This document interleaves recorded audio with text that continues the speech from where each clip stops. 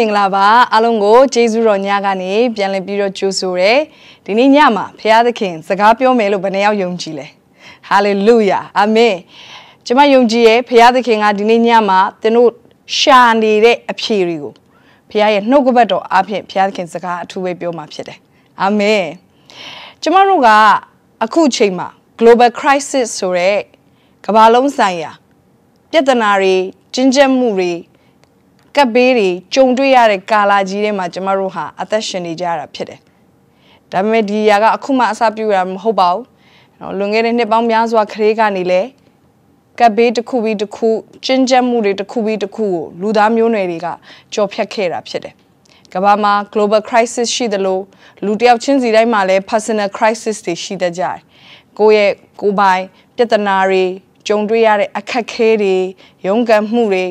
လူရယ်လို့ဖြစ်လာလို့ရှင်ဒီအရာကိုဘယ်သူမှရှောင်လွှဲလို့မရဘူးဖြစ်တယ်။ကြုံရတဲ့အရာတွေမှာဖျားသခင်ကကျမတို့ကိုဘယ်လိုမျိုးကြော်ဖြတ်နိုင်စေမလဲဆိုတဲ့အရာကိုပဲကျမတို့နှုတ်ကပတ်တော်ကနေသင်ယူရမှာဖြစ်တယ်။ crisis တွေကြုံရတဲ့အခါမှာလူတော်တော်များများစဉ်းစားမိတဲ့အရာကငါဒီလိုကြုံရတာငါဘာအမှားများလုပ်မိလို့လဲဆိုပြီးတော့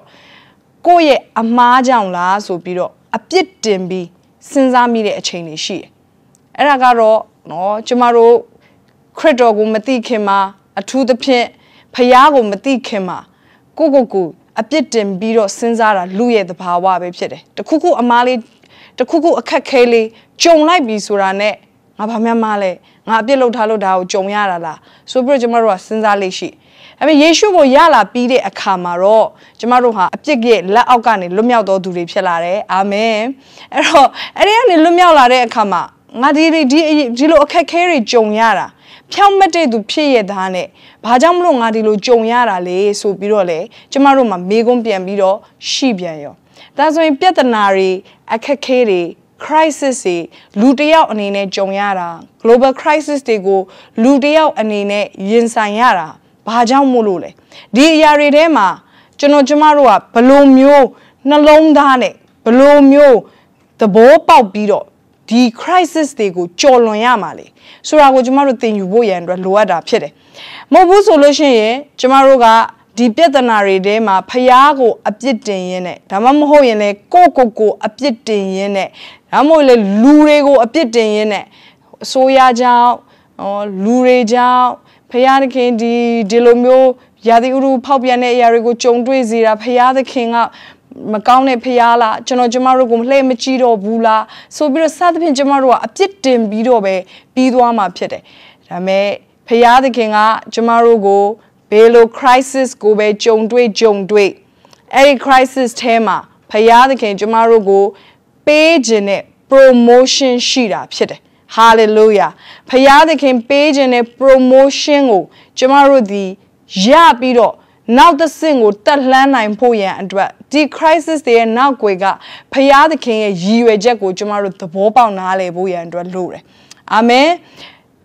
လူကသာ crisis ကိုကြည့်တဲ့အခါမှာပြဿနာလို့ပြောတာပါဒါပေမဲ့ဖရာသခင်ကဘယ်လိုပြဿနာကိုပဲကြည့်ကြည့်သူကပြဿနာလို့မမြင်ဘူးဖြစ်တယ်ကျမတို့ကသာပြဿနာကိုပြဿနာလို့ခေါ်တာဖရာသခင်ကပြဿနာကိုပြဿနာလို့ မခေါ်ဘူးဖြစ်တယ်ဘာဖြစ်လို့လဲဆိုတော့ဖရာသခင်မှာပြဿနာဆိုတာမရှိအာမင်ကျမတို့ဖရာသခင်တို့ဘေးအရာခါမှာပြဿနာမဟုတ်ကျမတို့လူအတွက်သာအဲ့ဒါကပြဿနာဖြစ်ရင်ဖြစ်မယ်ဒါပေမဲ့ဖရာသခင်တို့ဘေးတုံးကမှပြဿနာဆိုတာမရှိ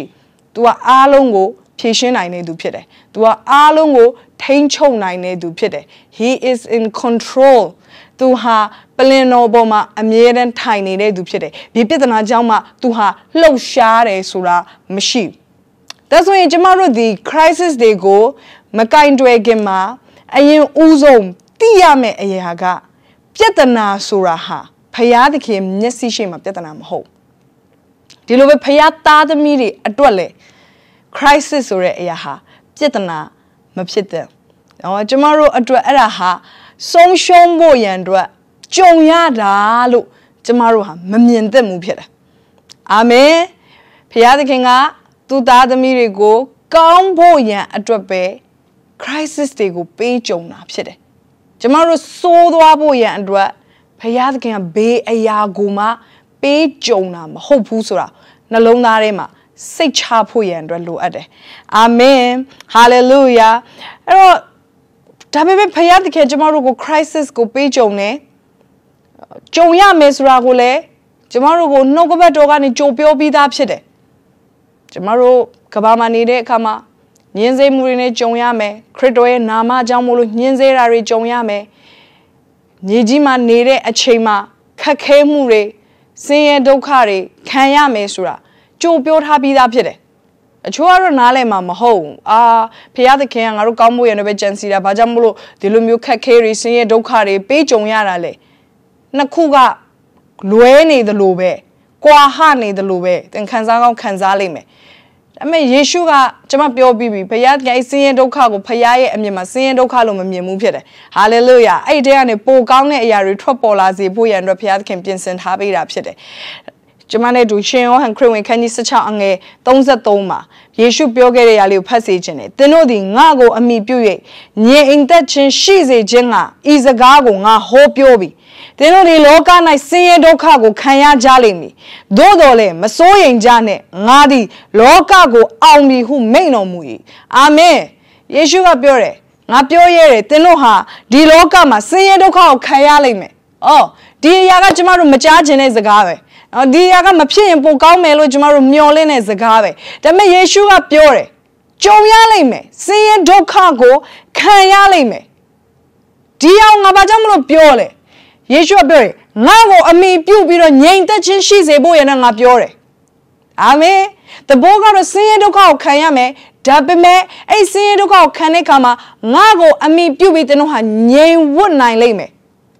ဒါပေမဲ့တင်တို့ကအဲ့ဒါမကြုံရဘူးဆိုပြီးတော့ မသိစေခြင်းမို့ကြုံရမယ်ဆိုကြိုသိစေခြင်းတယ်ကြိုသိထားမှကိုကြုံလာရတဲ့အခါမှာစိတ်မပြတ်မှာ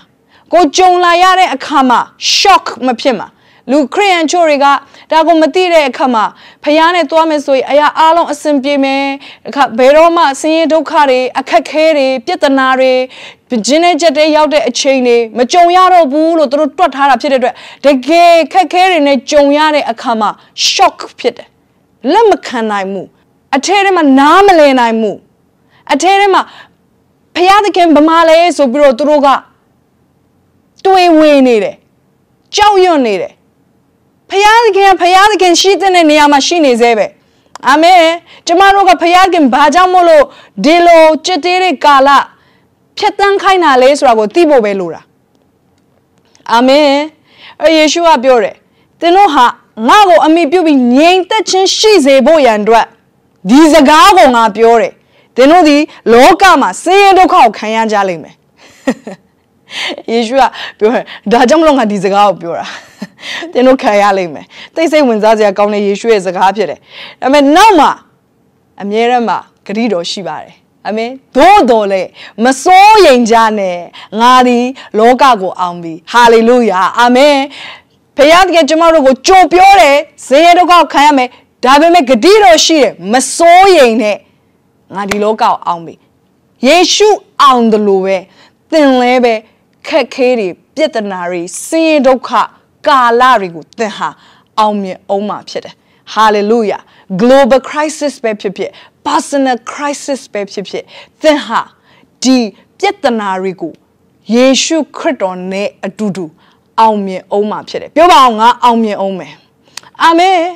အခက်အခဲပြဿနာဆိုမရှိရင်တန်ဘလို့လို့အခက်အခဲပြဿနာအောင်မြင်လို့ရမှာလဲတန်အောင်မြင်တဲ့သူဖြစ်ချင်တယ်ဆိုရင်တော့အခက်အခဲပြဿနာကိုကြုံရမှာပဲဖြစ်တယ်ရှောင်လွှဲလို့ရန်မရဘူးဘုရားကလည်းရှောင်လွှဲလို့ရတယ်လို့မပြောထားဘူးကြုံရလိမ့်မယ်လို့အတိအလင်းပြောပြီးသားဖြစ်တယ်ကျမတို့ကြိုက်သည်ဖြစ်စေမကြိုက်သည်ဖြစ်စေကြိုတင်ပြီးတော့အတိအလင်းပြောပြီးသားဖြစ်တယ်ဒါကြောင့်မလို့ပြဿနာဟာ ကျမတို့စိုးသွားစေဖို့ရန်တော့ကြုံတွေ့ရတာမဟုတ်ဘူးပြဿနာဆိုတာကျမတို့ကိုဒုက္ခပေးဖို့ရန်အတွက်လာတာမဟုတ်ဘူးကျမတို့ကောင်းဖို့ရန်အတွက်ဘုရားသခင်ပေးတွေ့တာဘုရားသခင်ကပြဿနာကိုပြဿနာလို့မခေါ်ဘူးဖြစ်တယ်ဘုရားခင်ပြဿနာကိုကျမတို့အတွက်အခွင့်အရေးလို့ခေါ်တယ်ဟာလေလုယာအာမင်ပြဿနာကိုရင်ဆိုင်တဲ့အခါမှာမစိုးရိမ်ဘဲနဲ့ဘုရားသခင်ရင်ဆိုင်စေခြင်းတယ်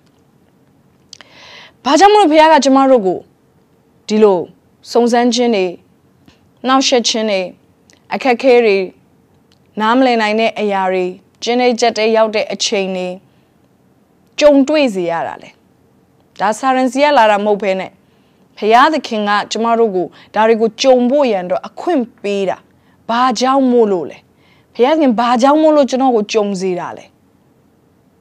ချို့အရာတွေကစာရန်စီကလာတာဖြစ်ပေမဲ့အချို့အရာတွေကဖရာသခင်ကိုယ်တိုင်ကြုံတွေ့စေတာဖြစ်တယ်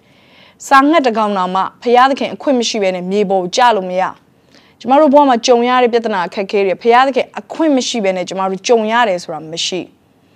ဒါဆိုရင်ဘာကြောင့်မို့လို့ကြုံရတာလဲနံပါတ်1အနေနဲ့ကျမတို့အခက်ခဲပြဿနာတွေကြုံရတဲ့အကြောင်းရင်းကတော့ ဖရာသခင်ကျမတို့ရဲ့ယုံကြည်ခြင်းကိုစစ်ဆေးနေလို့ဖြစ်တယ်ဟာလေလုယာပြောပါအောင်စစ်ဆေးခြင်းရှင်ပေတရုဩဝါစာပထမဆုံးခန်းကြီး1အငယ်6ခွန်မှာ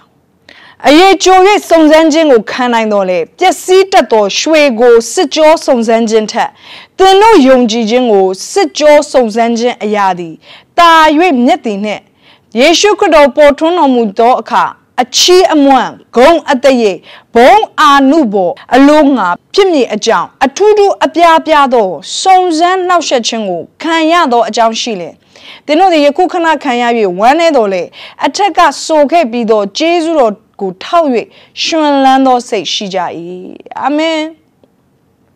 ဖခင်သခင်ကယေရှုပြန်ကြွလာတဲ့နေ့ရက်မှာချီးမွမ်းခြင်းကောင်းဖို့ရန်အတွက်ဂုံတရေနဲ့ပြည့်စုံဖို့ရန်အတွက် ဘုံအာနုဘော်တော်အတွက်ဖြစ်ဖို့ရန်အတွက်ဘာလုပ်မယ်လဲကျမတို့ရဲ့ယုံကြည်ခြင်းကိုစစ်မယ်ရွှေတွေကိုဖခင်သခင်စစ်တာထက်လူရဲ့ယုံကြည်ခြင်းကိုပို့ပြီးတော့ဖရာသခင်ကစစ်ချင်တယ်စစ်ဖို့ရန်အတွက်ဖရာသခင်အလိုရှိရယ်မိတ်ဆွေမစစ်ဖဲနဲ့ဘေးရကမှအစစ်အမှန်ဆိုတာမသိနိုင်ရွှေရရွှေအစစ်မှန်သိအောင်မီးနဲ့စစ်ကြည့်ရတယ် ဒီလိုပဲသင်ဟာတကယ်ပဲဖရာလူဖြစ်ကြသင်ဟာတိုးတက်နေကြသင်ဟာပြောင်းလဲနေကြသင်ဟာယေရှုနဲ့ပို့ပြီးတူလာတဲ့သူဖြစ်ကြသင်ဟာယုံကြည်ခြင်းအားကြီးတဲ့သူဖြစ်ကြအစစ်အမှန်ဖြစ်ကြောင်းသိဖို့ရန်အတွက်ဖရာသခင်ကကျမတို့ကိုစစ်မယ်ဟာလေလုယာဟာလေလုယာအဲ့ဒီမှာစစ်ဆေးခြင်းကကျမတို့ကောင်းမှုရန်အတွက်ဖြစ်တယ် စစ်ဆေးခြင်းဟာလွယ်မှာတော့မဟုတ်ဘူးစစ်ဆေးတဲ့အခါမှာရွှေကိုမီးနဲ့စစ်တယ်လို့ပဲကျမတို့ကိုဖရာစစ်တဲ့အခါမှာလည်းအပူနဲ့စစ်တတ်တယ်အခက်ခဲတွေနဲ့ဘုရားသခင်စစ်တတ်တယ်ကျမတို့ယုံကြည်ခြင်းကိုဘုရားသခင်စစ်တဲ့အခါမှာသင်မှာယုံကြည်ခြင်းရှိတာမှန်သလားမမှန်သလားဆိုတာသိဖို့ရန်အတွက်ဘုရားသခင်စစ်မှာဖြစ်တယ်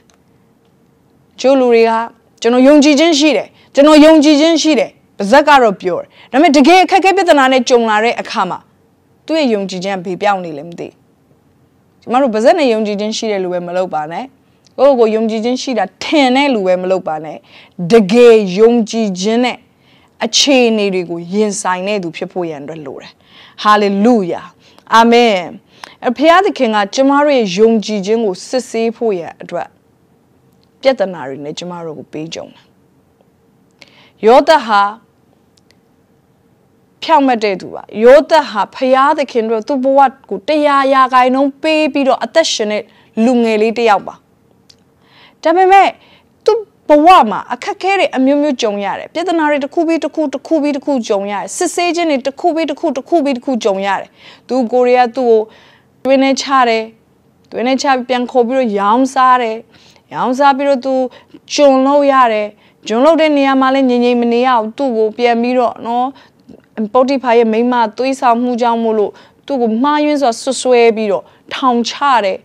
စုံစမ်းခြင်းတွေစစ်ဆေးခြင်းတွေတစ်ခုပြီးတစ်ခုလာတယ်။ तू မဖြောင့်မတ်လို့မဟုတ်။ तू ဖျားတော့မဖြစ်လို့ဒါတွေကိုတစ်ဖက်လက်နဲ့ကြုံရတာမဟုတ်။ယောသက်က ဒီလိုမျိုး तू ကြုံရတာသူ့ရဲ့ယုံကြည်ခြင်းကိုဖျားသခင်ကစစ်ဆေးပေးနေတာဖြစ်တယ်။ तू ဟာတကယ်ပဲယုံကြည်ခြင်းရှိတဲ့သူလား။ပြဿနာတွေကြုံရတဲ့အခါမှာကြောက်ရွံ့ပြီးတော့ပြန်လှည့်သွားမဲ့သူလားဒါမှမဟုတ်ရင်ယုံကြည်ခြင်းနဲ့ဖခင်နဲ့အတူတူဆက်ရှောက်မဲ့လူလားဆိုတာဘူးဖခင်သခင်ကစစ်ဆေးနေတာဖြစ်တယ်ဖခင်သခင်လည်းတင်းယုံကြည်ခြင်းကိုစစ်ဆေးလိမ့်မယ်တင်းပြဿနာတွေကြုံရတဲ့အရာကအကြောင်းမဲ့ကြုံရတာမဟုတ်ဖခင်သခင်ကျမတို့ရဲ့ယုံကြည်ခြင်းကိုစစ်ဆေးနေတာဖြစ်တယ်ဟာလေလုယာအာမင် နံပါတ်1အနေနဲ့ဖခင်တခင်ဘာကြောင့်မလို့ကျမတို့ကို crisis တွေပေးကြုံလဲဆိုလို့ရှင်ကျမတို့ကောင်းဖို့ရန်အတွက်ပေးကြုံတာဖြစ်တယ်အာမင်အေဂုရုပြီမှာအစာခေါင်းပါခြင်းကြုံရတာဘာကြောင့်လဲယောသက်ဆိုတဲ့လူငယ်ကိုဖခင်သခင်ချီးမြှောက်ခြင်းလို့ဖြစ်တယ်လူတွေကတော့နားလည်မှာမဟုတ်အာဒီအစာခေါင်းပါခြင်းဘေးကစိုးလိုက်တာစိုးလိုက်တာလူတွေကပြောပေမဲ့ဖခင်လူတွေကိုတော့ဖခင်သခင်ကအဲ့ဒီ ပြဿနာတွေကြားထဲမှာချီးမြှောက်ဖို့ရန်အတွက်ဖြစ်လာတယ်ဟာလေလုယာအာမင်အဲကြောင့်ပြဿနာတွေကိုအပြစ်မတင်ပါနဲ့ခက်ခဲတွေနဲ့ကြုံရတဲ့အခါမှာကျမတို့စိုးဖို့ရန်အတွက်ဖျားပေးတွေ့တယ်လို့မယုံပါနဲ့ဒီခက်ခဲတွေဟာသင်ဘသူလဲဆိုတာပေါ်လာဖို့ရန်အတွက်ဖျားသခင်ပေးကြုံတာဖြစ်တယ်အာမင် ခက်ခဲပြဿနာတွေထဲမှာသင်တခါမှမရဘူးသေးတဲ့ဉာဏ်ပညာတွေဘုရားခင်တင့်အောင်ပေးလာမယ်ခက်ခဲပြဿနာတွေထဲမှာဘုရားပေးတဲ့ဉာဏ်ပညာနဲ့လူတွေများဆိုတော့သင်ဟာပြန်လေကောင်းကြီးဖြစ်တဲ့သူဖြစ်လာအောင်မှာဖြစ်တယ်ဟာလေလုယာယောမောရစာခန်းကြီးအငယ်28မှာပြောတယ်လို့ပဲဘုရားသခင်ကိုချစ်တော်သူတို့ချစ်တော်သူဒီဟုသောကြံစီတော်မူခြင်းအတိုင်းခေါ်တော်မူသောသူတို့၏အကျိုးကိုခတ်သိမ်းသောအရာတို့သည်တညီတညွတ်ထဲပြုစုကြသည်ကိုငါတို့သိကြ၏ ခတ်သိမ်းသောအရာဆိုတဲ့အထဲထဲမှာကောင်းကြီးခံစားတဲ့အချိန်လဲပါသလိုအခက်အခဲပြဿနာကြုံရတဲ့အချိန်လဲပါတယ်အာမင်ခတ်သိမ်းသောအရာဟာဖယားသခင်ကိုချစ်တဲ့သူတွေဖယားသခင်ရဲ့အကြံစီတော်အတိုင်းခေါ်ခြင်းခံရတဲ့သူတွေမိတ်ဆွေတင်ဖယားကိုချစ်လားမိတ်ဆွေတင်ဖယားရဲ့အကြံစီထဲမှာရှိနေတဲ့လူလားဒါဆိုလို့ရှိရင်သင်ဟာသင်ကြုံရတဲ့အရာဘယ်တစ်ခုမှအကြောင်းမဲ့ကြုံရတာမဟုတ်ဘူး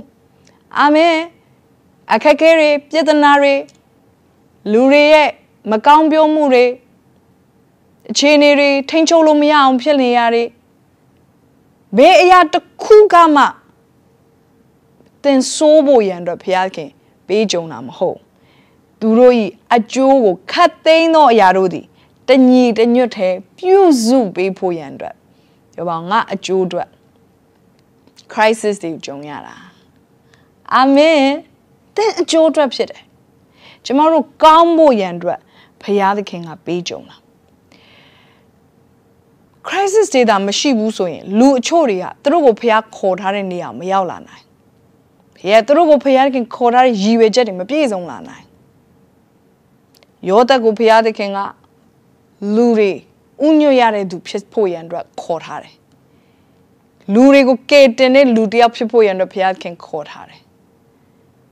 ဒီ crisis ကအဲ့ဒါပြည့်စုံဖို့ရန်အတွက်ဖြစ်ပေါ်လာတဲ့အခြေအနေတစ်ခုဖြစ်တယ်အေးသတာအကိုဖះသခင်ကလူတွေကိုကယ်တင်တဲ့အမျိုးသမီးတယောက်ဖြစ်ဖခင်ခေါ်ထားတယ်အဲ့ဒီအတွက်သူတို့ရဲ့နိုင်ငံမှာလူမျိုးတုံးတပ်ဖြတ်မှုကြီးဖြစ်လာတယ်ဟာမန်ကနေပြီးတော့ဣသရေလလူတွေကိုလူမျိုးတုံးတပ်ဖြတ်ဖို့ရန်အတွက်ကြံစီတယ်အဲ့ဒီအကြံစီက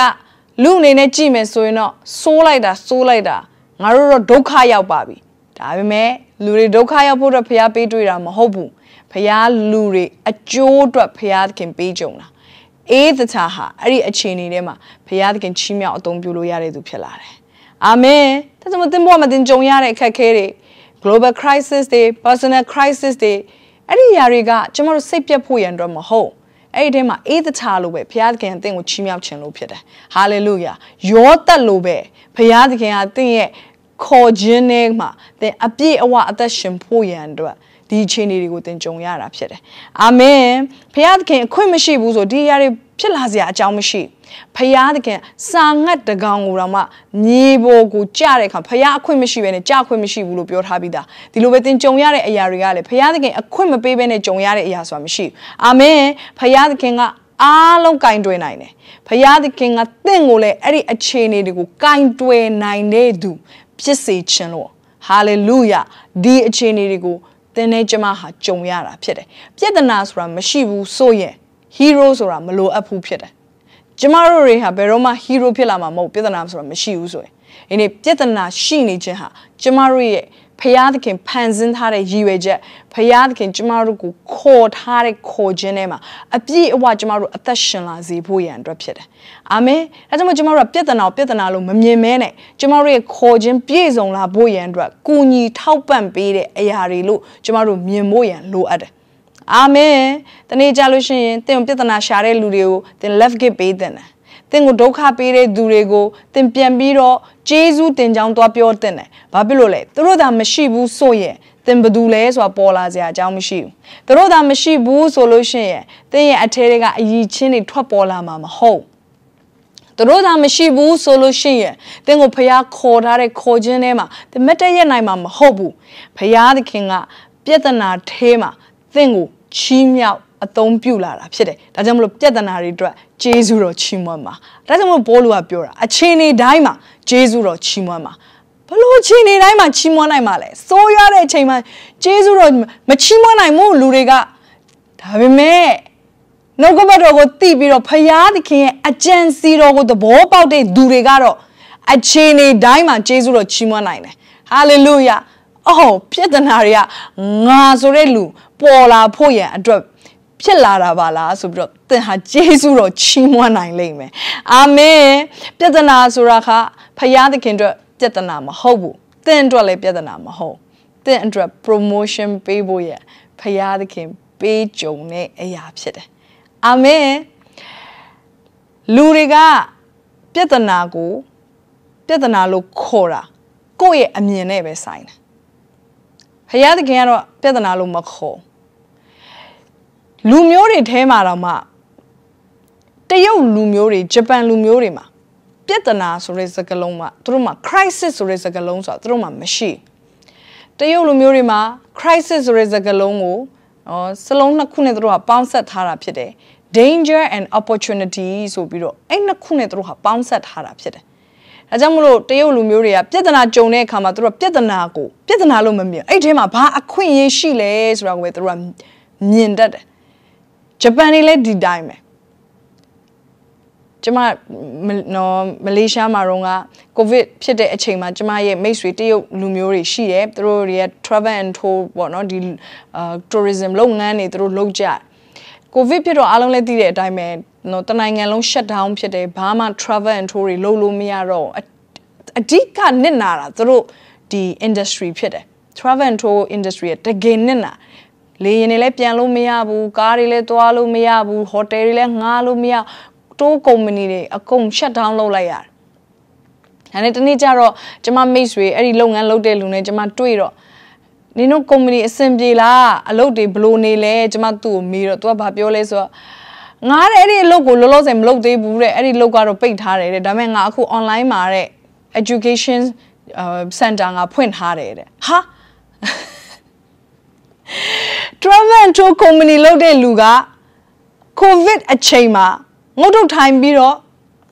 အပြစ်တင်မနေဘူးအစိုးရအောင်အပြစ်တင်ဟလာကိုဗစ်လုပ်တဲ့လူတွေကိုအပြစ်တင်ကိုဗစ်ပြန်အောင်လုပ်တဲ့လူတွေကိုအပြစ်တင်ပြီးတော့ तू မနေဘူး तू ကအဲ့ဒီကိုဗစ်အချိန်မှာအခွင့်အရေးကိုရှာနေတာဖြစ်တယ်ဘေးစည်းပွားလုပ်ရင်အသင့်တော်ဆုံးဖြစ်မလဲ အပြင်ကိုလူတွေထွက်လို့မရတော့လူတွေကကြောင်းတက်ဖို့လိုတယ်လေပညာတွေသင်ကျင်တယ်အဲ့တော့ तू ကဘာလုပ်လဲဆို education center online မှာ तू set up လုပ်လိုက်တယ်မလီကျောင်းသားတွေမှာအများကြီးပဲသူ့ရဲ့လုပ်ငန်းတော်တော်လေးအောင်မြင်တာဖြစ်တယ်ဘာလဲအခွင့်အရေးကိုပြဿနာတွေမှာမြင်တတ်တာဒါကြောင့်ပြဿနာကြုံလို့လူတိုင်းဆင်းရဲသွားတာမဟုတ်ပြဿနာကြုံလို့လူတိုင်းဒုက္ခရောက်တာမဟုတ်ပြဿနာထဲမှာအခွင့်အရေးမြင်တတ်တဲ့လူတွေကပြဿနာထဲမှာပင်လင်အောင်မြင်တဲ့လူတွေစိုးစံတဲ့လူတွေ ဖြစ်လာတယ်ဒီပြဿနာပြဿနာလို့မမြင်ပါနဲ့တင့်ကိုဖျားသခင် promotion ပေးခြင်းလို့ကြုံတွေ့ရတာဆိုတာကိုသိပါဟာလေလုယာဟာလေလုယာအာမင်အဲကြောင့်မလို့เนาะတရုတ်လူမျိုးတွေเนาะပြဿနာဆိုလို့ရှိရင်တို့ကအမြဲတမ်းမပြဿနာအခွင့်ကောင်းယူပြီးတော့အမြဲတမ်းမတကယ်ပိုကောင်းတဲ့အရာတွေအဲ့ဒီထဲမှာထွက်ပေါ်လာအောင်တို့ကလုပ်တတ်တယ်ဂျပန်နေလည်းဒီလိုပဲဂျပန်နိုင်ငံဟီရိုရှီမာကိုဘုံကျဲပြီးတဲ့အခါမှာနော်သခါတဲ့ တမြို့လုံးပြဖြစ်သွားဒါပေမဲ့ဆိုမကြဘူးဂျပန်နိုင်ငံကလေကမ္ဘာအကောင်းဆုံး technology တွေပေါ်တဲ့နိုင်ငံဖြစ်လာ သူတို့ရဲ့နာကျင်မှုကိုသူတို့ရဲ့ pain point ကိုပြန်ပြီးတော့စ조사အထောက်မှုစီမှာသူတို့ပြန်သုံးတယ်ငါတို့ဒီတိုင်းသွားရင်ကမ္ဘာနိုင်ငံတွေအများကြီးထက်ငါတို့ဟာနောက်ကျပြီးတော့ကြံခဲ့တော့မယ်အဲ့ဒီတော့ကြောင့်မလို့ငါတို့နောက်ကျတဲ့နိုင်ငံမှာဖြစ်ချင်မှုသူများတွေကတဆစ조사ရင်ငါတို့ကသုံးဆပို့ပြီးတော့조사ရမယ်သူများတွေကဒီလောက်လုပ်တယ်ဆိုရင်ငါတို့ကအစပေါင်းများစွာပို့조사ဖို့လိုတယ်ဘာဖြစ်လို့လဲဆိုတော့ငါတို့ မြို့ကြီးပြာဖြစ်သွားပြီဒါကြောင့်မလို့ငါတို့ကသူများထက်နောက်ကျလို့မဖြစ်ဘူးဆိုပြီးတော့ပိုစ조사တဲ့အတွက်ကြောင့်မို့လို့မကြောင်နှစ်ပေါင်းနှင်းငယ်အတွင်းမှာကမ္ဘာနိုင်ငံအသီးသီးကို Toyota ကားတွေ Mitsubishi တွေစသဖြင့်ကမ္ဘာရဲ့နိုင်ငံတိုင်းကိုစက်ပစ္စည်းတွေနဲ့လွှမ်းမိုးတဲ့နိုင်ငံကြီးပြန်ဖြစ်လာတယ် technologies နဲ့ရှေ့ပြေးတဲ့ technologies နဲ့ပြန်ပြီးတော့လွှမ်းမိုးတဲ့နိုင်ငံဖြစ်လာတယ်။ဘာလဲအခက်ခဲထဲမှာအခွင့်အရေးကို ရှာတက်လို့ဖြစ်တယ်။ဒါကြောင့်အခက်ခဲကိုအခက်ခဲလို့မမြင်ပါနဲ့။ငါကောင်းဖို့ရန်အတွက်ဖရာသခင်ပေးကြုံတာဖြစ်တယ်။ပိုကောင်းဖို့ရန်အတွက်ပြောပါဦးပိုကောင်းလာဖို့ရန်အတွက်အာမင်ကျမတို့ကမှန်ကန်တဲ့ perspective ရှိဖို့လိုတယ်မှန်ကန်တဲ့ရှုထောင့်နဲ့မြင်တတ်မယ်ဆိုရင်သင်အချိန်ဒီတိုင်းမှာချီးမွမ်းနိုင်တဲ့သူဖြစ်လာမယ်ပေါ်လို့လို့ပဲအာမင်ဟာလေလုယာအာမင်အမသုံးအနေနဲ့ဘာကြောင့်မလို့ဘုရားသခင်ကျမတို့ crisis ပေးကြုံလဲဆိုရင်ကျမတို့ရဲ့အထဲမှာရှိတဲ့ potential ဆိုတဲ့အရည်သွေးတွေအစွမ်းစတွေထွက်ပေါ်လာဖို့ရန်အတွက်ဖြစ်တယ်အာမင်ပြဿနာတွေမှာအရည်ချင်းတွေအမြဲတမ်းထွက်ပေါ်လာတယ်အေးတထာဟာဒါမှန်အလှမယ်လေးပဲဒါပေမဲ့ ပြဿနာကြုံရတဲ့အခါသူ့လူမျိုးလူမျိုးတုံးတက်ဖြတ်ခြင်းခံရမယ်ဆိုတဲ့အရာ तू တိလာတဲ့အခါမှာ तू ဟာတာမန်အလှမယ်ဘဝနဲ့ तू မနေတော့ဘာလို့လဲစပြီးတော့နော်တကယ်ပဲလူမျိုးကိုကဲတင်ဖို့ရန်အတွက် तू စဉ်းစားလာတော့တယ်အစီအစဉ်ဆွဲလာတော့တယ် तू ဟာလူမျိုးကိုကဲတင်တဲ့လူတစ်ယောက်ဖြစ်လာတယ်အလှမယ်ဘဝကနေသူ့ရဲ့ potential သူ့ကိုဖះခေါ်ထားတဲ့ခေါ်ခြင်းထဲမှာ အသက်ရှင်ဖို့ရန်အတွက်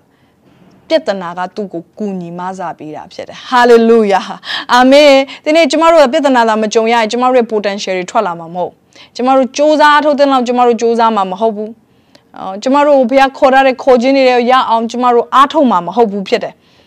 ။တခါကမီးလောင်တော့လူကတေးသေးလေးပဲကောင်းမလေးရ။ဒါမဲ့လေသူမလိုက်တဲ့တစ်တာအကြီးကြီးပဲ။ဟော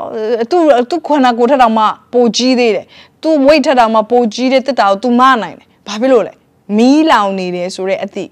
ဖိအားက तू မလုံနိုင်တဲ့အရာတွေနော်အယိုးတွေကအားတွေအကုန်ထုတ်ပြီးတော့တခါတည်းမထလိုက်တာတက်တာအကြီးကြီးလဲမသွားနိုင်အဲ့တော့ဒီလိုပဲကျမတို့လည်းတကယ်တော့သင်ဟာသင်ထင်တာထက်ပိုပြီးတော့အည်ချင်းရှိတဲ့သူဖြစ်တယ်သင်ဟာသင်ထင်တာထက်ပိုပြီးတော့လုံနိုင်တဲ့သူဖြစ်တယ်ဒါပေမဲ့ကျမတို့ကအဲ့ဒီအစွမ်းစားတွေကို အခက်ခဲတွေဖိအားတွေမကြုံရမချင်းအသုံးမပြုဘူးကျမတို့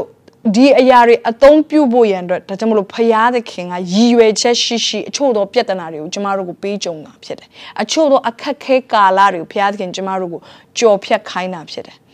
ရာခတ်ဟာပြည်တစားလုပ်ငန်းလုပ်တဲ့အမျိုးသမီးတယောက်ပါဒါပေမဲ့သူ့နိုင်ငံမှာတနေ့မှာဘေးရောက်လာမယ်ဆိုတော့ तू သိတဲ့အခါစစ်ပွဲတွေဖြစ်လာတော့မယ်ဆိုတော့ तू သိတဲ့အခါ तू ကပြည်တစား ဘဝကနေပြီးတော့နှုတ်ထွက်ပြီးတော့စစ်ရေးရမှာအကြံပေးတဲ့ပုံကူတယောက်ဖြစ်လာတယ်လူတွေကိုပြောပြတယ်ဘယ်သူနဲ့ပေါင်းရမယ်ဆိုတော့သူသဘောပေါက်လာတယ်အဲ့ဒီပေါင်းတဲ့လူတွေလည်းသူဟာစစ်မှုနဲ့ပတ်သက်ပြီးတော့နော်အားပေးတယ်ဒီမြို့မှာလူတွေကတင်းတို့ကိုကြောက်ရွံ့နေတာဖြစ်တယ်ရဲရဲရဲရင်လာပါလာပြီးတော့တိုက်ပါဝါရခက်ကြည့်ကြည့်မယ်ဆိုလို့ရှိရင်အပြင်ပိုင်းမဲ့လှပြီးအုံနောက်မရှိတဲ့လူလိုမျိုးထင်စရာအကြောင်းရှိတယ်ဒါပေမဲ့တကယ်ပြဿနာနဲ့ကြုံလာတဲ့အခါမှာ သူ့အထဲမှာရှိတဲ့အစွန်းစတွေအယီချင်းတွေအကုန်လုံးကိုသူထုတ်သုံးတော့တာဖြစ်တယ်ဒီကဘာကြီးအပြစ်နဲ့လွှမ်းမိုးတဲ့အခါမှာကဘာကြီးဟာအပြစ်နဲ့လွှမ်းမိုးတဲ့အတွက်ကြောင့်မို့လို့ယေရှုခရစ်တော်ဟာမြေကြီးကိုဆင်းသက်လာတာဖြစ်တယ်အဲ့ဒီခါမှာမာရိဟာတာမန်မင်္ဂလိဘဝကနေပြီးတော့ကြီးမြတ်တဲ့အမျိုးသမီးဖြစ်တဲ့အခွင့်ကိုရလာတယ်အကယ်လို့သာလူတွေအားလုံးကလိမ္မာနေမယ်ဆိုလို့ရှိရင်ကေတင်ရှင်ကိုမလိုအပ်ဘူးဆိုရင် မာရိဟာအတုံးတော်ခံစရာအကြောင်းလည်းမရှိကျွန်တော်ပြဿနာတွေကကျမတို့အတွက်ကောင်းကြီးအဖြစ်ဖရာသခင်ပြင်ဆင်ပေးထားတဲ့အရာဖြစ်တယ်ဆိုတော့နားလည်စေခြင်းတယ်မောရှေမောရှေကအားကြီးတဲ့ခေါင်းဆောင်တယောက်ဖြစ်လာစေတာဣသရေလလူတွေဣသရေလလူတွေလိုအပ်ချက်တွေချောင်းဖြစ်တယ်ဣသရေလလူတွေလိုအပ်ချက်ကကြီးမားလေလေမောရှေကဖျားသခင်ထံတိုးဝင်ရလေလေပဲ ဣသရေလလူတွေရဲ့ခေါင်းမာမှုကကြီးမားလေလေမောရှေကပို့ပြီးအားကြီးတဲ့ခေါင်းဆောင်ဖြစ်လာလေလေပဲဖာရောကခေါင်းမာလေလေ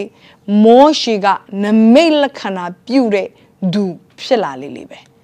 ဒီနေ့တခြားမလို့ပြဿနာတွေကကျမတို့ဆုံးရှုံးမှုရတော့မဟုတ်ကျမတို့ထဲကအယီအသွေးတွေ ပပေါ်လာစေဖို့ရန်အတွက်ဖြစ်တယ်ကျမတို့ထဲမှာမတုံးရသေးတဲ့အည်သွေးအများကြီးရှိတယ်ကျမတို့ထဲမှာမတုံးရသေးတဲ့စွမ်းရည်တွေအများကြီးရှိတယ် potential တွေအစုကျေးဇူးတွေအလားလာတွေအများကြီးရှိတယ်အာမင်ဒါမဲ့အဲ့ဒါတွေကိုကျမတို့ဟာအခက်ခဲပြဿနာတွေကြုံရမှပဲထုတ်ပြီးတော့အသုံးပြုတာဖြစ်တယ်ဒါကြောင့်မို့ကျမတို့ကြုံရတဲ့အခြေအနေတွေထဲမှာမိတ်ဆွေအပြစ်တင်ပြီးတော့မနေနဲ့သင်ရဲ့အစွမ်းစားတွေကိုထုတ်သုံးပါဟာလေလုယာဖခင်ပေးထားတဲ့ အည်သွေးတွေဖခင်ထုတ်သုံးစေချင်တာဖြစ်တယ်ဒါဝိတ်ကဂိုးလျက်ကိုတွေ့တဲ့အခါမှာပဲသူ့ရဲ့ကြောက်တုံးကိုသူထုတ်သုံးလို့ရတယ်ဒီကြောက်တုံးကဒီတိုင်းမပြစ်နေဘာဘုံမှမထင်ရှားဒါပေမဲ့ဂိုးလျက်ရှိလို့သာဒါဝိတ်ဟာသူ့ရဲ့ကြောက်တုံးကတမိုင်းဝင်တဲ့ကြောက်တုံးဖြစ်လာအာမင်သူရဲ့ကြောက်တုံးကို तू ဘဝမထားအောင်။ तू မှရှိတဲ့အရေးချင်း तू မှအများကြီးတော့မရှိပါဘူး။ तू မှရှိတဲ့အရာကို तू ထုတ်သုံးလိုက်တယ်။ အစွမ်းစားရှိသမျှကို तू အတဲ့ဆုံး तू ပြစ်ပလိုက်တယ်။သူ့ရဲ့ကြောက်တုံးအဲ့ဒီပြစ်လိုက်တဲ့အရာကတကယ်တမိုင်းဝင်တဲ့လို့ရက်တစ်ခုဖြစ်လာတယ်။အာမင်။ကျမတို့ကိုဖခင်သခင်ပေးထားတဲ့အရာတွေ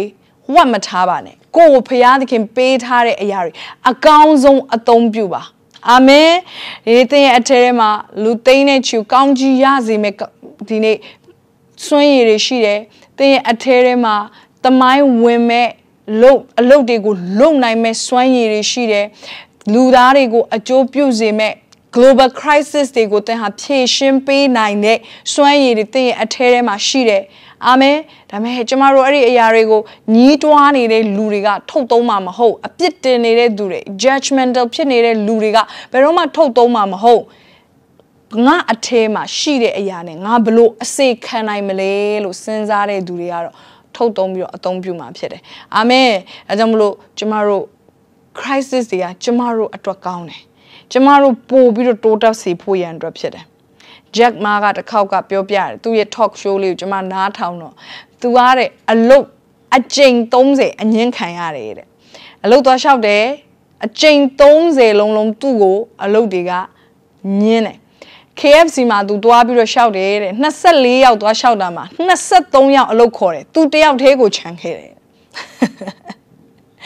Harvard University မှာ10ချိန်ဝင်ခွင့်ရှောက်တယ်10ချိန်လုံးအငင်းခံရတယ်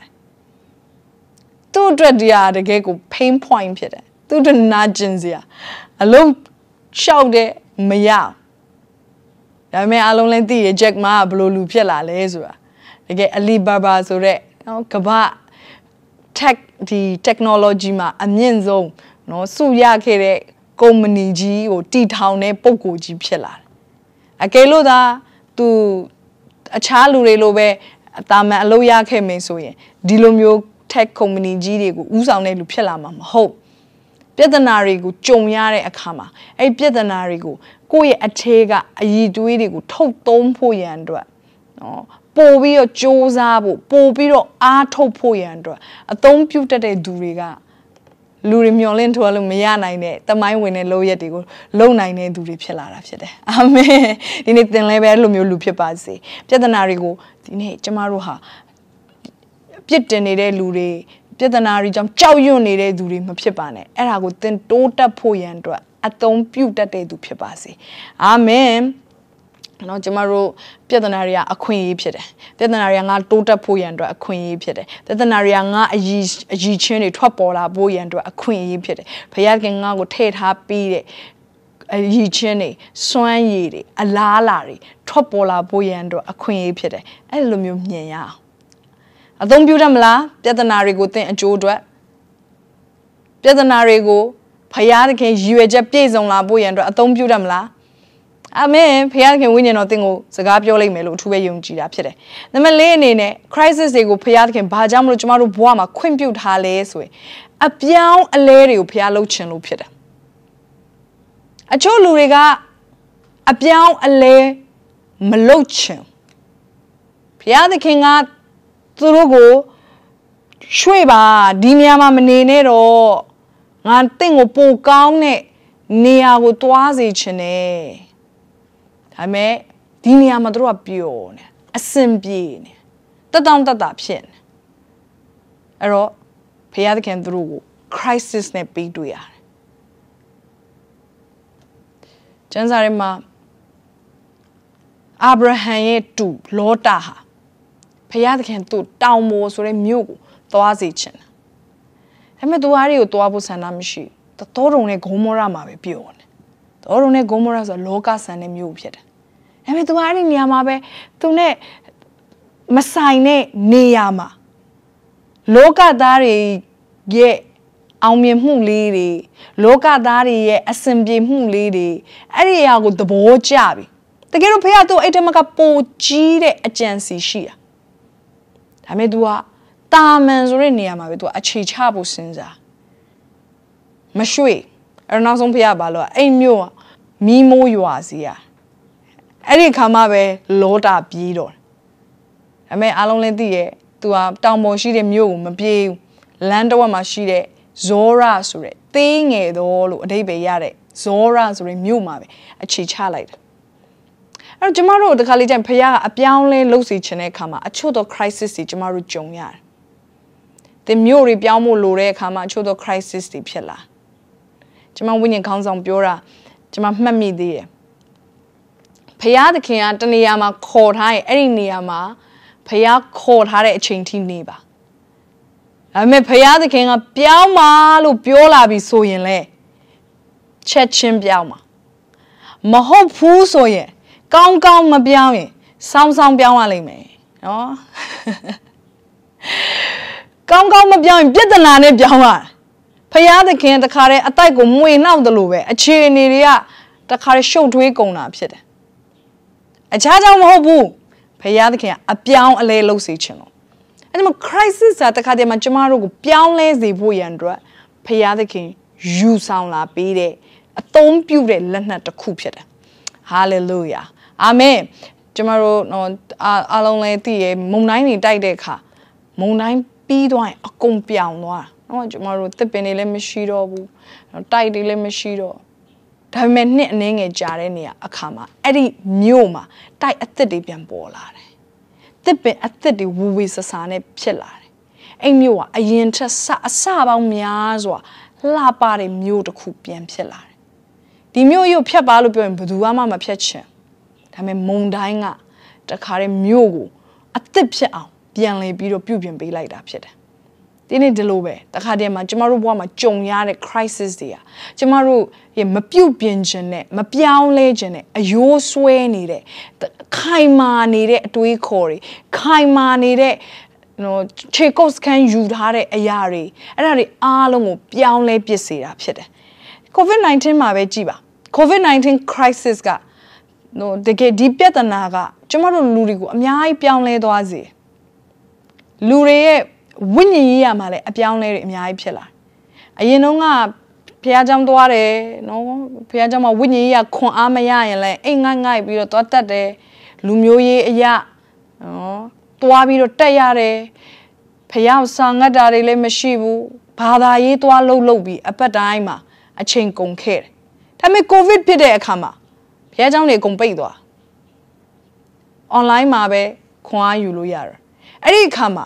တကယ်ပဲတန်ရှင်သောဝိညာဉ်တော်နဲ့ပြည့်ဝတဲ့နှုတ်ကပတ်တွေစစကြားလာတယ်။အိုးဖယားကိုစာငတ်ရကောင်းမှန်းသိလား။တန်ရှင်သောဝိညာဉ်တော်ကိုစာငတ်ရကောင်းမှန်းသိလား။ဖယားအတွက်အသက်ရှင်ခြင်းစိတ်တွေဖြစ်လာ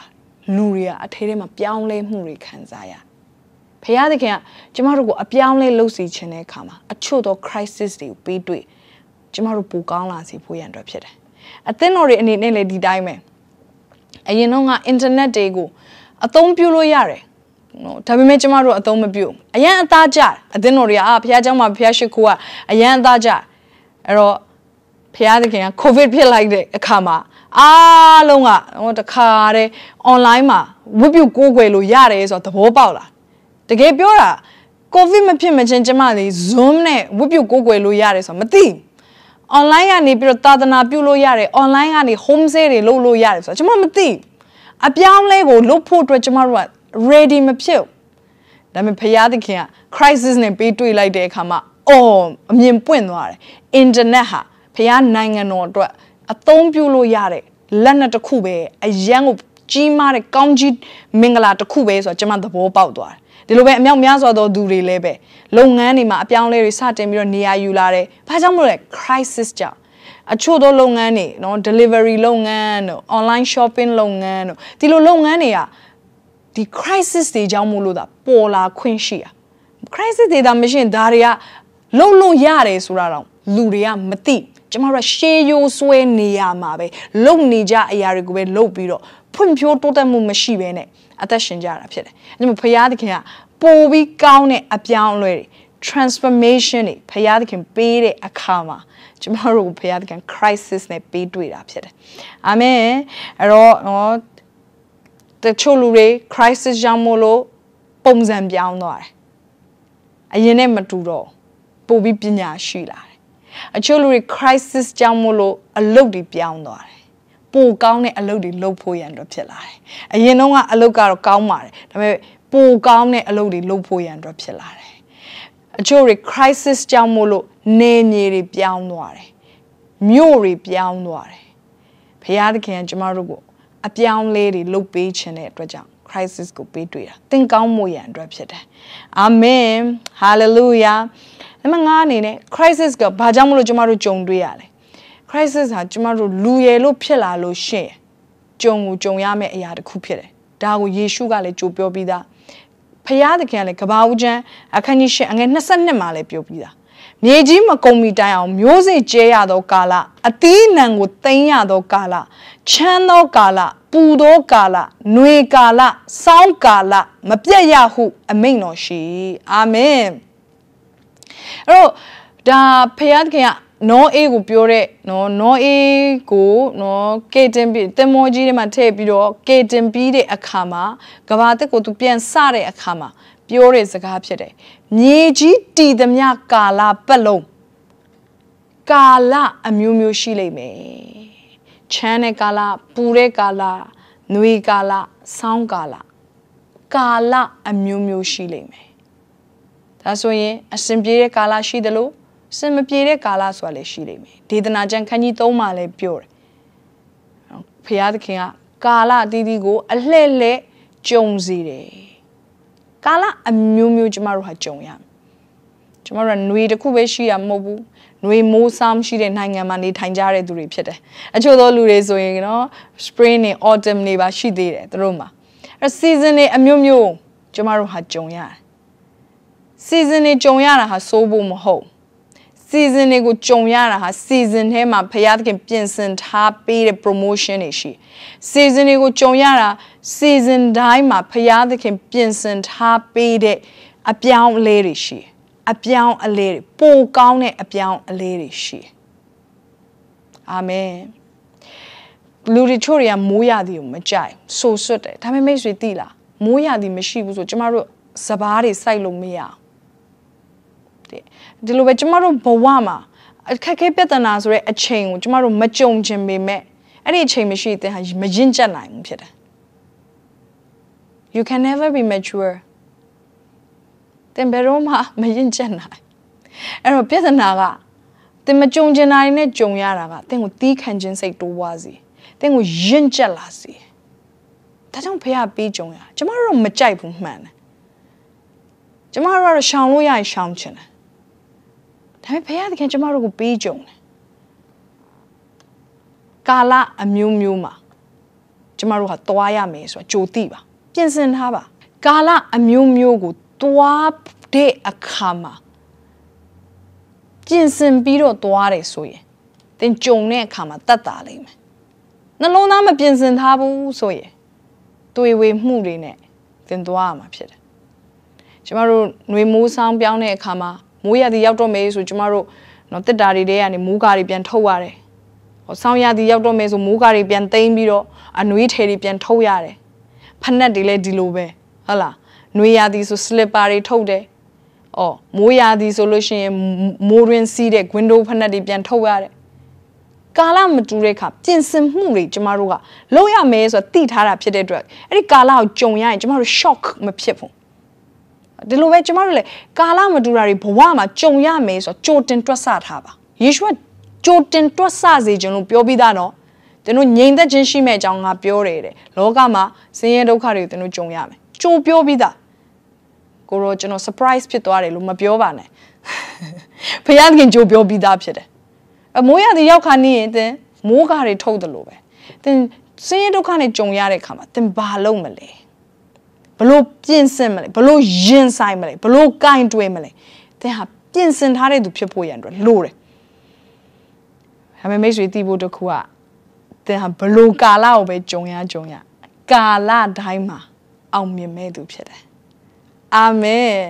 ဟာလေလုယာသင်ဟာကာလတိုင်းမှာဖရာသခင်ရဲ့ဂျေဇုတော်နဲ့ဂယုနာတော်ကိုခံစားရတော်သူဖြစ်တယ်။ တေမင်းရဲ့အရေးလွှမ်းမိုးတဲ့ဂျိုင်းသေးကိုတွားရပေမဲ့လေဘေးအန္တရာယ်ကိုမကြောက်ပါ။အကြောင်းမူကားလန်နန်တော်နဲ့တောင်ဝေးတော်ကကျွန်ုပ်ကိုချမ်းသာစေတယ်။ဖရာသခင်ရဲ့ဂျေဇုနဲ့ဂယုနာတော်ကတင့်ကိုမဆပေးမှာဖြစ်။ဖရာရဲ့ကိုယ်ကာပေးခြင်းကတင့်ကိုမဆပေးမှာဖြစ်တယ်။ဆာလံအခန်းကြီး1အငယ်3မှာပြောသလိုပဲ။ထိုသူသည်မျက်နှာမှာစိုက်လျက်မိမိအချိန်တန်မှအသီးကိုတီး၍အရွက်မညှိုးနွမ်းတတ်သောအပင်နဲ့တူတယ်။ ကျမတို့ကဖရာသခင်ရဲ့အထဲမှာစိုက်ထားတဲ့သူမှန်နေဆိုရင်လေဘယ်တော့မှအရွက်မညှိုးနွမ်းဘယ်တော့မှတန်ဟာမညှိုးနွမ်းဘလို့ကာလပဲရောက်ရောက်ຫນွေပဲရောက်ရောက်စောင်းပဲရောက်ရောက်မိုးပဲရောက်ရောက်ကာလတိုင်းမှာသင်ဟာမညှိုးနွမ်းတဲ့သူဖြစ်လိမ့်မယ်။အဲ့ဒီကာလတွေမှာသင်ဟာတိုးတက်ပြီးအခွင့်အရေးတွေကိုအရာယူတတ်ပြီးဖရာသခင်ပို့ပေးခြင်းနဲ့နောက်တစ်ဆင့်ကိုတစ်ဆင့်မီတစ်ဆင့်ခြေလှမ်းလှမ်းနိုင်တဲ့သူဖြစ်လာလိမ့်မယ်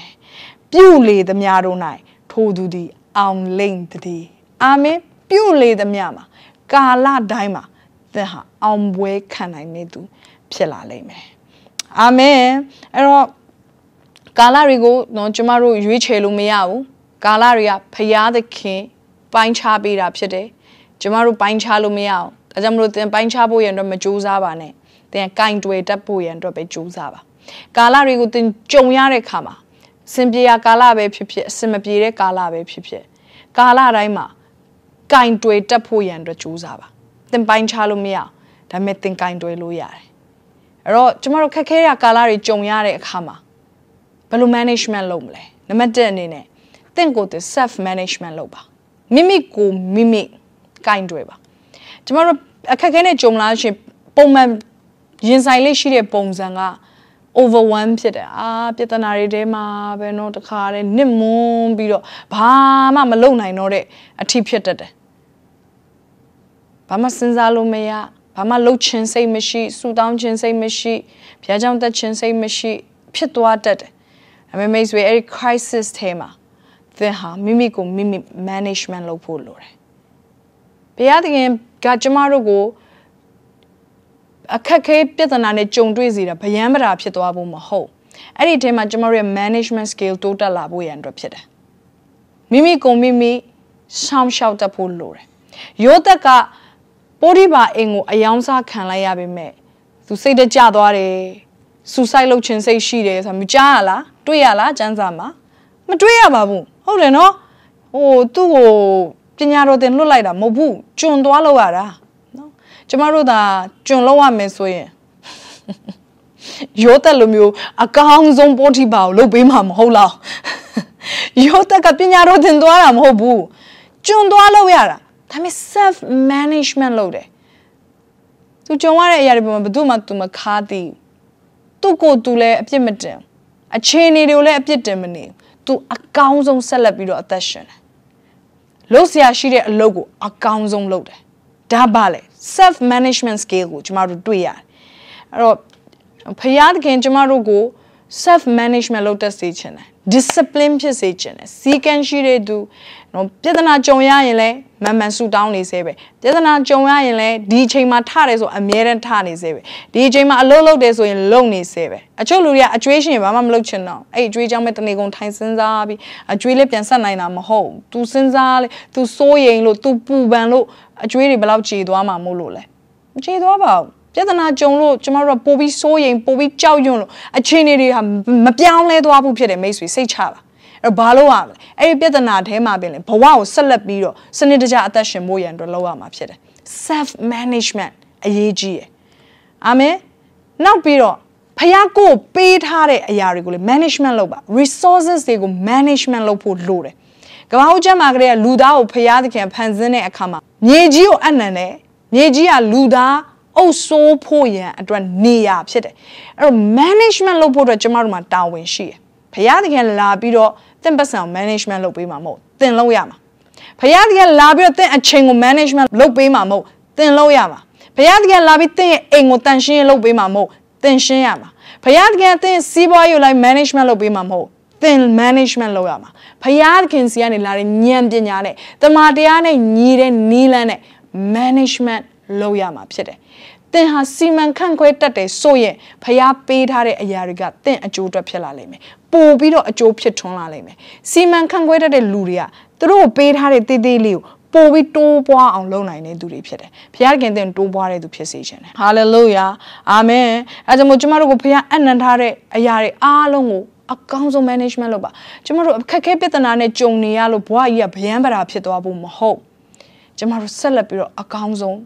လှုပ်ဆောင်ဖို့ရန်အတွက်ဖြစ်တယ်အကောင်းဆုံးမိမိထိန်းချုပ်လို့ရတဲ့အရာတွေထိန်းချုပ်ပါမိမိထိန်းချုပ်လို့မရတဲ့အရာတွေဖရားလက်ထဲကိုအနှံပါ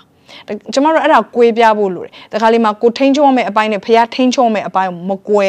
ဖရားတကင်ထိန်းချုပ်ပေးပါဆိုပြီးတော့ကိုထိန်းချုပ်ရမယ့်အပိုင်းကိုမထိန်းချုပ်ဘူးဖြစ်နေနော်အဲ့တော့ဖရားတကင်ကကျမတို့အပိုင်းကိုကျမတို့လုပ်ရင်ဖရားကသူ့အပိုင်းကိုသူလုပ်လိမ့်မယ်အာမင်အဲ့တော့ကျမတို့ကိုဖရားဘာတွေပေးထားလဲဘုရားခင်တင့်ကိုအိမ်ပေးထားလား တင်ငားနေတဲ့အိမ်ဖြစ်ရင်ဖြစ်လိမ့်မယ်ဒါပေမဲ့အဲ့ဒီအိမ်ကိုအကောင်းဆုံးထားပါတန်ရှင်းတေချာလုပ်ပါတေချာနော်ကျမတို့ပြုစုဖို့လိုတယ်အိမ်ထဲမှာအနန္တကအစ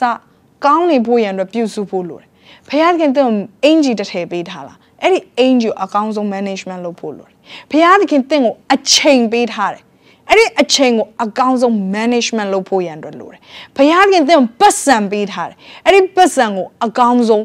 management လုပ်တတ်ဖို့လိုတယ်ကျမတို့စီမံခန့်ခွဲမှုမရှိရင်အရာအားလုံးက waste ဖြစ်သွားတယ်ဖြုံးတီးပစ်လိုက်တယ်ကျမတို့အချိန်ကိုစီမံခန့်ခွဲမှုမရှိရင်အချိန်တွေပြုံးသွားလိမ့်မယ်ကျမတို့ရဲ့ပတ်စံကိုစီမံခန့်ခွဲမှုမရှိရင်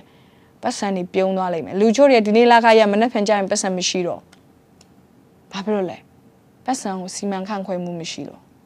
ပတ်စံဘေးသွားမလဲမခိုင်းပတ်စံသူ့ကိုပြန်ခိုင်းတယ် အဲ့တော့အဲ့လိုမျိုးဘဝမျိုးတင်မသွားခြင်းဘူးလို့ကျွန်မယုံကြည်တယ်အာမင်ဆရာကြီးတယောက်ကဒီလိုပြောတယ်သင်ဘလောက်ဆူတောင်းလဲဆိုတာပဲအရေးကြီးတာမဟုတ်သင်ဘလို့ management လုပ်လဲဆိုတာလေအရေးကြီးတယ်ကျမတို့ကကလေးမှာဆူတောင်းတယ်ကိုတော့ကျွန်တော်ကြီးမားတဲ့အသင်းတော်ပေးပါအမေဖះပေးထားတဲ့အသင်းတော်လူ90 100ရှိရဲ့ home stay မှာအသင်းတော်မှာအဲ့ဒီအရာတော့ ကျမတို့ကောင်းကောင်း management မလုပ်ကောင်းကောင်းစီမံခန့်ခွဲမှုမရှိဒါဆိုဖះသခင်ထပ်ပေးမလားဘေးပေးမလဲမိတ်ဆွေဖះသခင်ထပ်ပေးမှာမဟုတ်ဘာကြောင့်မလို့လဲဆိုတော့ကျမတို့ကဖះပေးထားတဲ့တီးတီးလေးတွေမှာအကောင်းဆုံးစီမံခန့်ခွဲမှုမလုပ်နိုင်လို့ဖြစ်တယ်ဒါကြောင့်မို့ကျမတို့စုပဲတောင်းလို့မရစုတောင်းထားတဲ့အရာတွေကိုအကောင်းဆုံးစီမံခန့်ခွဲမှုနဲ့ အလုဆောင်ဖို့ရန်အတွက်လည်းအရေးကြီးတယ်။အဲဒါမို့တောင်းတဲ့အခါမှာပေးပါလို့ပဲမတောင်းနဲ့။ကိုရောကိုရောပေးတဲ့အရာကိုအကောင်းဆုံးစီမံခန့်ခွဲနိုင်ဖို့ရန်အတွက်လည်းဉာဏ်ပညာပေးပါတောင်းဖို့ရန်လိုတယ်။အာမင်။အဲ့တော့ကျမတို့ကနော်ဖခင်သခင်ကျမတို့ကိုကြုံတွေ့စေတဲ့ဒီအာအခက်ခဲကာလကကြော်သွားမှာပါမိတ်ဆွေစိတ်ချပါအဲ့ဒါခဏပဲကြုံရတာဖြစ်တယ် permanent မဟုတ် ခဏပဲကြုံရဒါပေမဲ့အဲ့ဒီကြုံတဲ့ကာလမှာအဲ့ဒီကာလကိုအကောင်းဆုံးကင်တွေတတ်ဖို့စီမံတတ်ဖို့ရန်အတွက်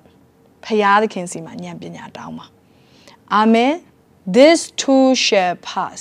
ဒီအရာကိုလည်းသင်ကြော်လွန်အောင်မှာဖြစ်တယ်ဒါပေမဲ့ဘလို့ပုံစံနဲ့ကြော်လွန်မလဲအကျိုးရှိပြီးတော့ကြော်လွန်မလားစိတ်တကြမှုတွေနဲ့ပဲကြော်လွန်မလား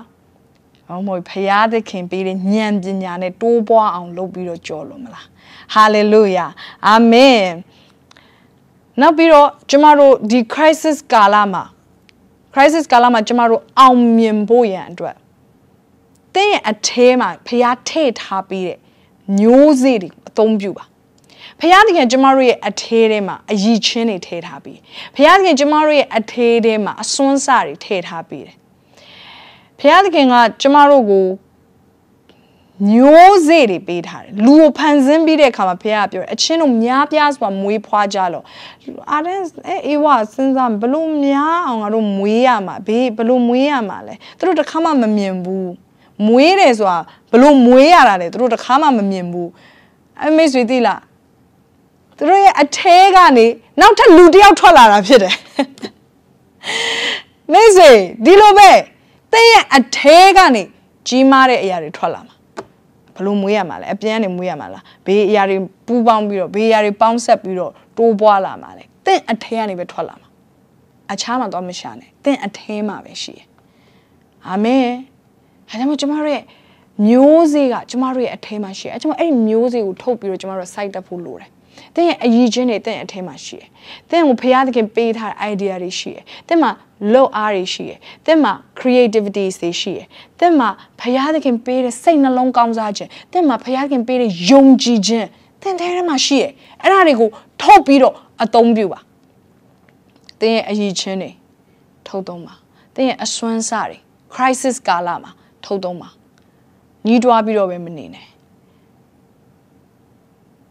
ဒါဝိတ်ကသူ့မှာရှိတဲ့ကြောက်တုံးကိုထုတ်သုံးတယ်။တဲ့မှာဘုရားခင်ဗာပေးထားလဲ။အဲ့ပေးထားတဲ့အရာကိုထုတ်သုံးမှုလို့တယ်။အာမင်။မျိုးစေ့စိုက်ပါ။အမြဲတမ်းမှာ crisis ကာလမှာပြည်လေသွားတာမျိုးစေ့ကြောင့်ဖြစ်တယ်။ဣဇက်ကအစာခေါင်းပါခြင်းကာလမှာပြည်လေသွားတာမျိုးစေ့စိုက်လို့ဖြစ်တယ်။ဘာမျိုးစေ့မှမစိုက်ရင်ဘာအပင်မှပေါက်เสียရှိမှာမဟုတ်။တဲ့ရဲ့အထေတွေကမျိုးစေ့ကိုထုတ်ပြီးတော့စိုက်ပါ။ယောသဟာ သူ့ထဲမှာဖျားပေးထားတဲ့မျိုးစေ့ဖြစ်တဲ့အိမ်မက်အနက်ပြန်နိုင်တဲ့မျိုးစေ့ကိုသူထုတ်သုံးတယ်။အဲ့ဒီခါမှာတိုင်းပြည်ကိုအစာခေါင်းပါခြင်းဘေးကနေကယ်နှုတ်ဖို့ရန်အတွက်ဖြစ်လာတယ်။အများရမှာမျိုးစေ့ကဒီခက်ခဲရကာလအတွက်အဖြေဖြစ်တယ်။အာမင်။ဟာလေလုယာ။အဲ့တော့မိတ်ဆွေ crisis နဲ့ပတ်သက်ပြီးတော့ဖရာသခင်ရဲ့အမြင်ကိုသဘောပေါက်လာပြီလို့ကျွန်မယုံကြည်ရဲ့။အခက်အခဲပြဿနာဟာ ဘုရားသခင်ကအခက်ခဲပြဿနာလို့မမြင်ဘူးကျမတို့ကပဲမြင်တာ